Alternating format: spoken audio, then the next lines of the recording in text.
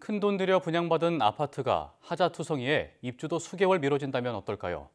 강원도 춘천에 있는 신축 아파트 이야기인데요. 입주 예정 주민들이 분통을 터뜨리고 있습니다. 시청자 제보를 홍성욱 기자가 취재했습니다.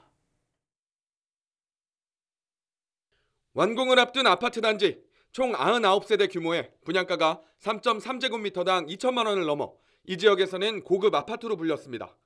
하지만 입주 예정일이 석 달이나 지났는데도 입주는커녕 준공 승인도 받지 못했습니다. 이유는 하자 투성이. 비만 오면 천장에서 물이 뚝뚝 떨어지고 이건 완전 무시네. 지하에는 이미 물이 고였습니다. 다 물인 거야? 내부 바닥 이음새는 틈이 보일 정도로 벌어졌고 마루와 타일 사이도 고르지 못합니다.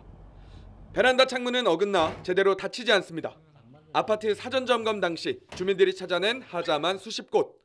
그런데도 시행사는 일단 입주한 뒤에 고쳐주겠다며 자치단체에 임시 사용 승인을 신청했습니다. 뭐 이런 상태에서 들어갈 수는 없다고 저희는 판단이 됐는데 거기에 뭐 안전 감리라든지 시공하시는 분들은 뭐 들어가 보면 알 거 아니냐 그렇게 얘기를 하시더라고요.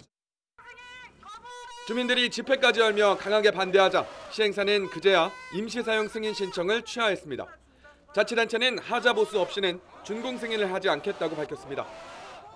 임시 사용 승인이든 사용 검사가 됐든 그 사용에 지장이 없어야지 저희가 이제 그걸 처리를 할 수 있다고 보여지고요. 뭐 사업 주체나 시공사 감리를 통해서 계속적으로 재시공 보완 시공을 하고 있는 그런 상황입니다.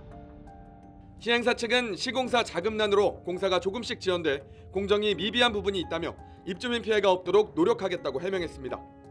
하지만 하자 보수가 얼마나 더 걸릴지 알 수 없는 상황.